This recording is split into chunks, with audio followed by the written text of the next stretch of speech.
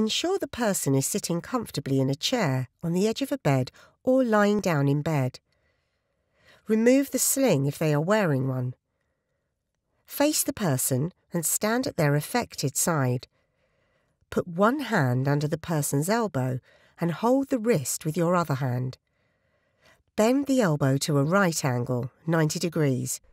Start with the person's hand flat against their stomach and then slowly rotate the hand outwards until fingers point forwards. Do not go further than this point unless instructed by your physiotherapist. Keep the person's elbow tight into their side throughout the exercise. Bring the hand back towards the person's stomach. Repeat until you have finished the set.